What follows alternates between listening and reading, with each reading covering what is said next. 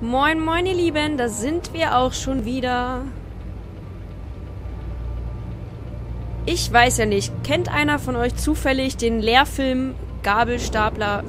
Wie, wie ging das nochmal? Wie heißt der? Staplerfahrer Klaus heißt er. Staplerfahrer Klaus heißt der Film. Genau, jetzt weiß ich es wieder. Also kennt den einer von euch? Das ist wirklich äh, ein wahres Meisterwerk der Filmgeschichte, kann ich nur sagen. Den kann ich nur jedem ans Herz legen. Ich weiß gerade gar nicht, was ich hier machen muss. Ich muss vermutlich da zu diesem blinkenden Schacht, aber vielleicht sollte ich da erstmal das Gitter rausziehen. Ja, ist, ähm, nein.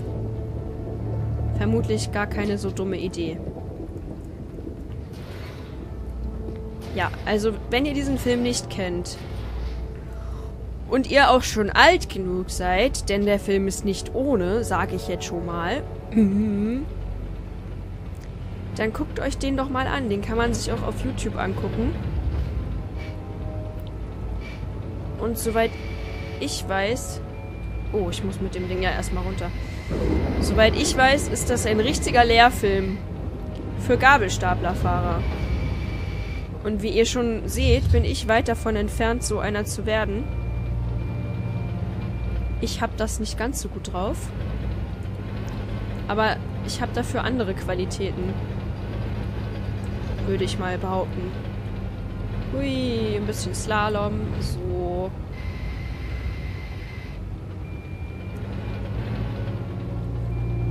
Okay. Ist ja mal eine ganz witzige Aufgabe eigentlich. Mal was anderes. Als immer nur, ähm, hoppala als immer nur der schnöde Kram, den wir schon gewohnt sind. Ähm, ja, jetzt habe ich die Kiste ein bisschen blöd verdreht. Ähm. ich komme mit der Steuerung nicht so ganz klar. So. Und. Oh, oh, oh. Ich habe ein bisschen Angst, dass ich hier gerade eine Kiste verliere. Ja. Dachte ich mir doch. Oh Mann. Ich werde wohl niemals Gabelstaplerfahrer werden.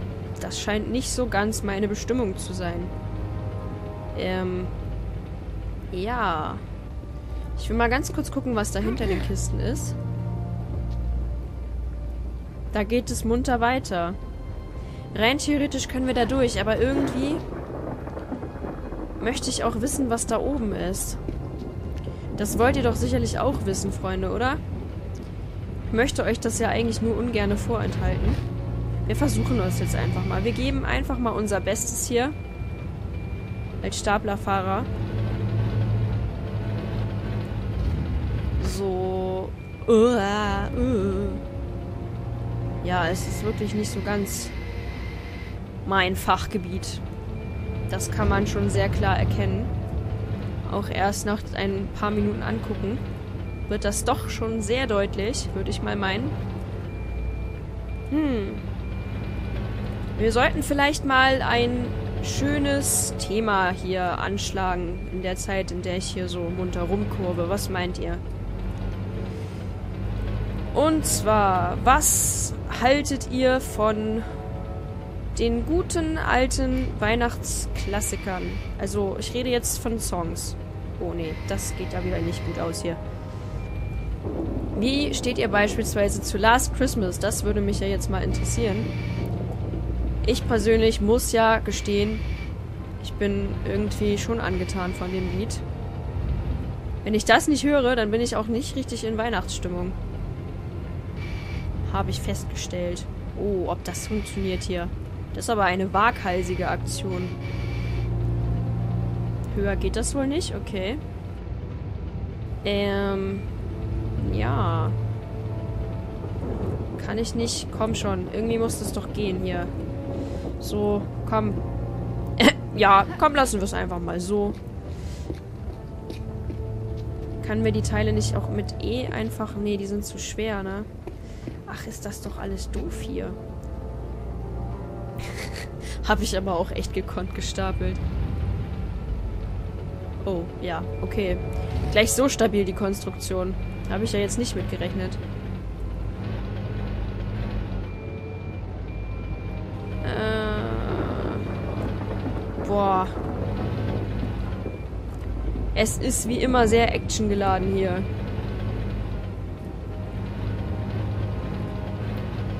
Uiuiuiui, das ist ja fast schon spannender als Autoscooter. Fast schon spannender, aber nur so ein bisschen. Uah. Bitte denkt nicht, dass ich ihn echt auch so fahre. Ja, toll. Jetzt habe ich mich auch noch festgefahren, oder was? Ah.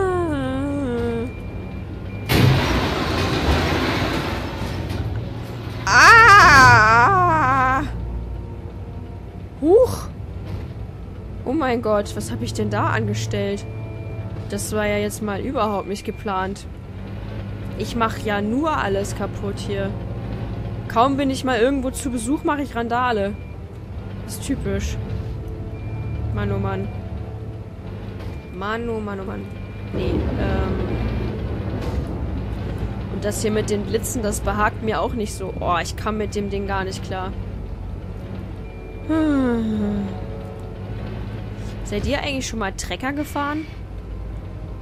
Oh, Schack. Scha, scha, scha, scha. Schietekacke. Ich hab das Ding noch oben. Oh Mann. Ich wäre so ein Klaus. Ich wäre so ein Klaus, aber sowas von. Ich wäre so ein richtiger Klaus. Wie? Geht das gar nicht höher? Ach doch. Okay.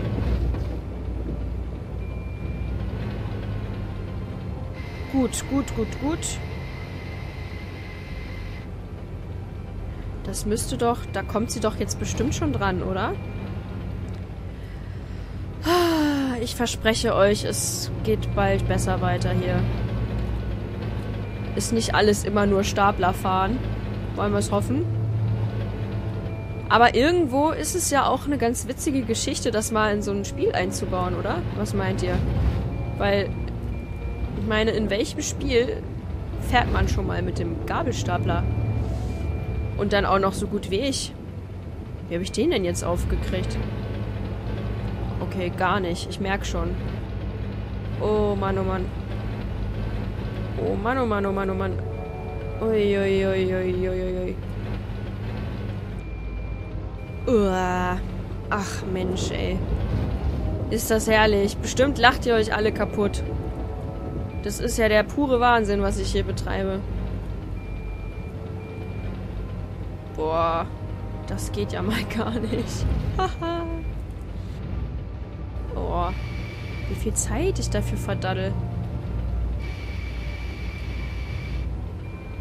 So. Nein, bleib wo du bist. Du Kackding. Mach, was ich will, mach, was ich will. Schön langsam, schön langsam.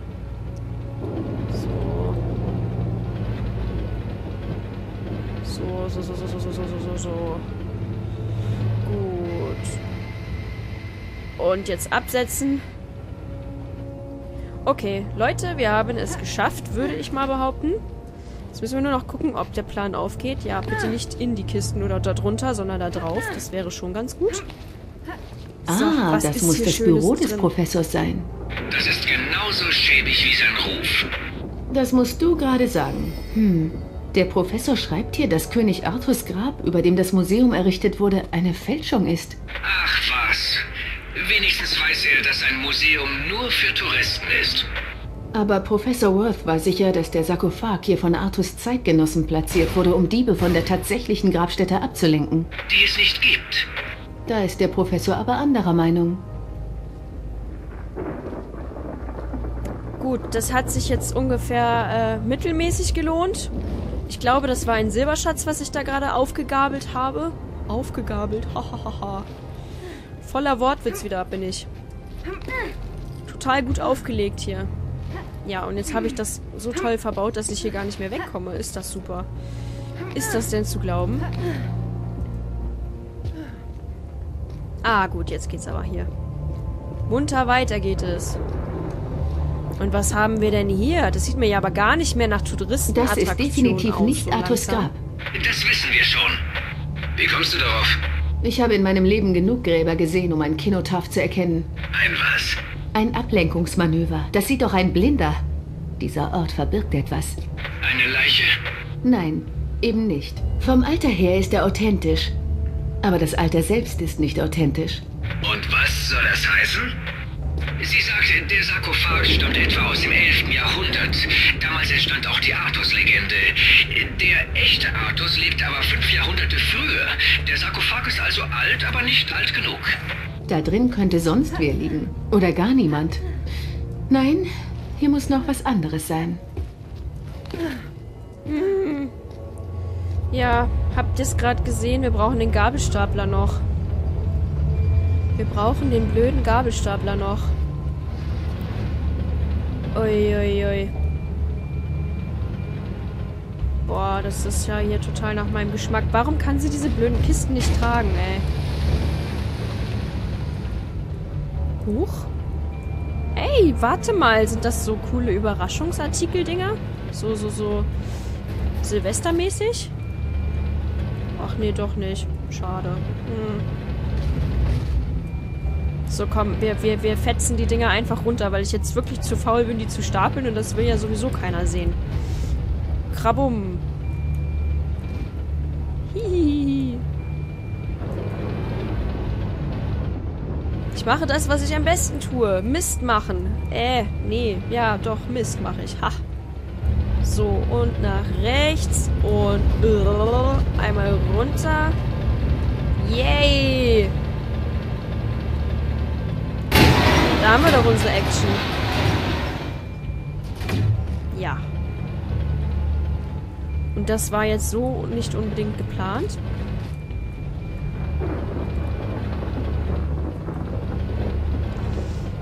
So, wir müssen hier nämlich diese Kisten wegtransportieren, denn man sieht ja schon vielleicht an der äh, Grafik ein bisschen, dass diese Steine da so besonders aussehen.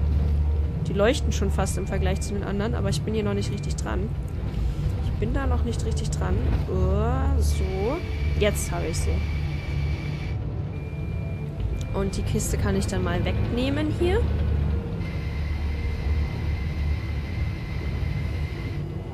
Und dann müssen wir nur noch die zweite Kiste auch noch wegnehmen. Und dann wäre die Sache geritzt, Freunde. Dann wäre sie geritzt. So. Hoppala. Es klappt alles, wie es soll. Naja, so geht es auch. Was ist denn hier los heute? Ich krieg andauernd Nachrichten. Nee, oder muss ich das Ding rammen? Ich glaube, ich muss das rammen sogar, oder? Ich glaube, ich muss das Ding rammen mit dem Gabelstapler. Oder ich mach mal wieder Mist. Das kann natürlich auch sein. Nee, Na, das also war nicht Mist. Besser. Das war absolut kein Mist. Sei vorsichtig und mach bitte nichts Wichtiges kaputt. Hey, Alistair. Vorsicht ist mein zweiter Vorname. Freut mich übrigens, dass du jetzt auch glaubst, hier könnte was sein. Vorsicht ist jetzt zweiter Vorname? Ich glaube kaum. Hm, cool. Das wird ja jetzt doch mal interessant hier. Der Gabelstapler wird mir immer sympathischer. Okay. Die Tür muss man doch irgendwie öffnen können. Ja. Und zwar entweder indem man sie zerstört oder indem man sie zieht oder irgendwie so.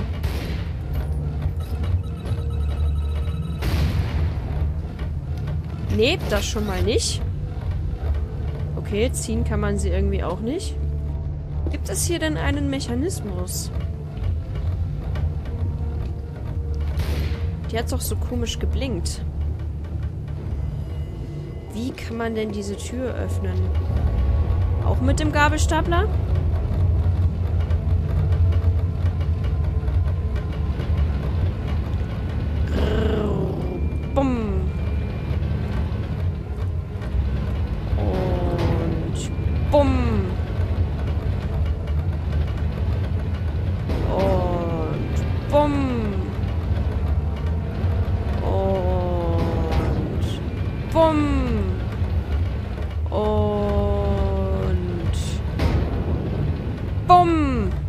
Möchte das denn nicht? Hm, okay, ich habe noch eine letzte Idee. Die bringt aber nicht wirklich viel. Gut, Freunde. Dann würde ich mal sagen, es geht morgen spannend weiter mit schöner Gabelstapler-Action. Ich freue mich schon drauf, ihr hoffentlich auch. Wir sehen uns dann. Macht's gut.